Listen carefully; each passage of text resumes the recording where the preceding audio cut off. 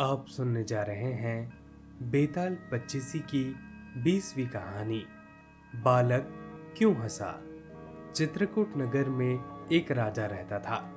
वह एक दिन शिकार खेलने के लिए जंगल में गया। घूमते घूमते वह रास्ता भूल गया और अकेला रह गया। थक कर वह एक पेड़ की छाया में लेट गया। तभी उसे एक ऋषि कन्या दिखाई दी। उसे देखकर राजा उस पर मोहित हो गया। थोड़ी देर में ऋषि स्वयं वहाँ पर आ गए। ऋषि ने पूछा, तुम यहाँ कैसे आए? राजा ने कहा, मैं शिकार खेलने आया हूँ। ऋषि ने बोला, बेटा, तुम क्यों जीवों को मारकर पाप कमाते हो? तब राजा ने यह वादा किया कि अब से मैं शिकार नहीं खेलूँगा। खुश होकर ऋषि ने कहा तुम जो चाहो, वह मांग सकते हो। तब राजा ने ऋषि कन्या मांगी और ऋषि ने खुश होकर दोनों का विवाह कर दिया। राजा जब उसे लेकर चला तो रास्ते में उसे एक भयंकर राक्षस मिला। वह बोला, मैं तुम्हारी रानी को खा जाऊँगा। अगर तुम चाहते हो कि वह बच जाए तो सात दिन के भीतर एक ऐसे ब्राह्मण पुत्र का बलिदान करो, जो अपनी इच्छा से अपने आप को दे दे और उसके माता पिता मरते समय उसके हाथ पैर पकड़े। डर के मारे राजा ने उसकी बात मान ली। वह अपने नगर को लौटा और अपने दीवान को सब हाल कह सुनाया। दीवान ने कहा, आप परेशान ना हो, मैं कोई उपाय करता हूँ।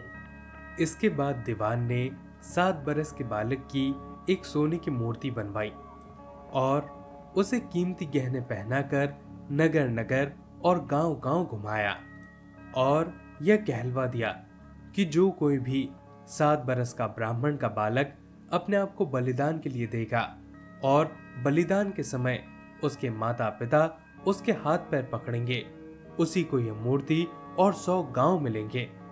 यह खबर सुनकर एक ब्राह्मण बालक राज़ी हो गया।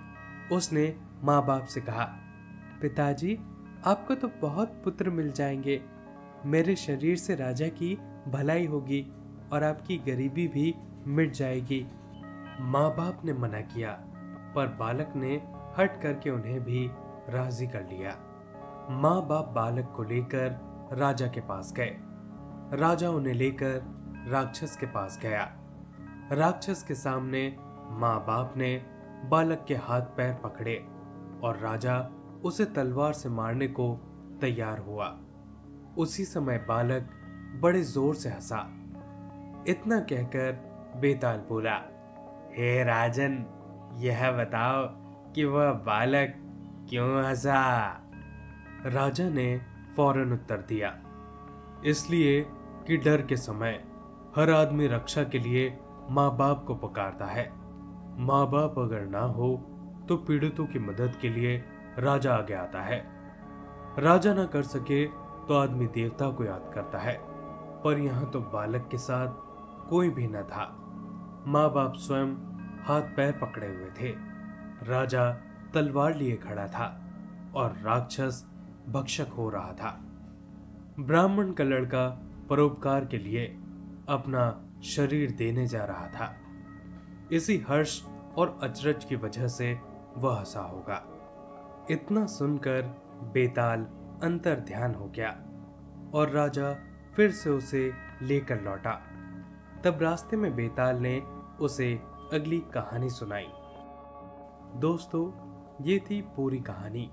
आप सुन रहे थे बेताल पच्चीसी की बीसवीं कहानी, बालक क्यों हंसा? अगली कहानी तक आप मेरे साथ बने रहिए। आप सभी का बहुत बहुत धन्यवाद।